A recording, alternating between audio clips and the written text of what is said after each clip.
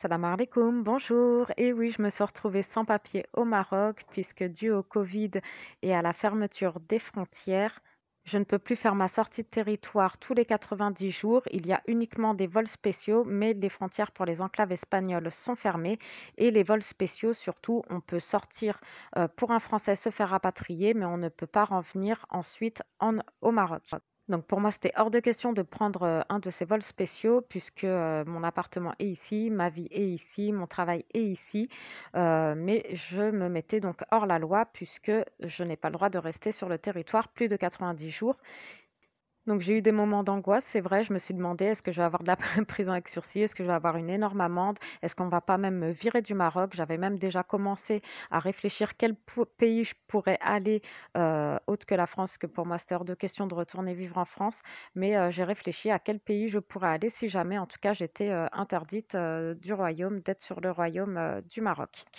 Donc au Maroc, je travaille, mais j'ai pas de contrat de travail. Je travaille pour une famille en tant qu'AESH où je m'occupe, je suis accompagnante euh, d'enfants euh, en situation de handicap où je donne des cours particuliers à domicile, mais je travaille aussi à l'école et j'ai juste euh, dans cette école une convention qui m'autorise à être à l'école, mais j'ai pas de contrat de travail.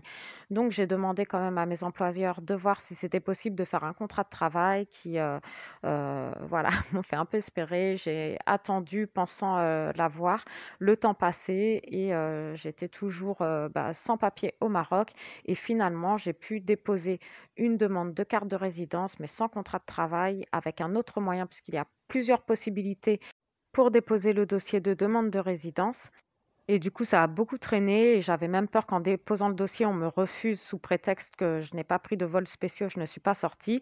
J'avais peur aussi de devoir passer euh, devant le tribunal et d'avoir euh, une amende de 1000 dirhams, puisqu'après renseignement, euh, j'ai vu que c'était pas des, des milliers, des milliers, mais c'était 1000 dirhams l'amende pour avoir dépassé les trois mois.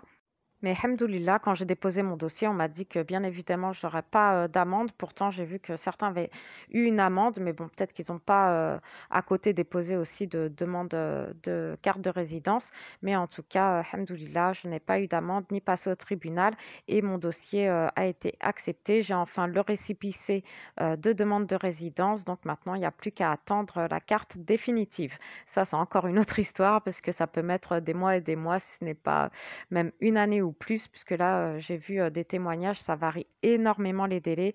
Donc voilà, plus qu'à attendre, Inch'Allah, qu'elle arrive.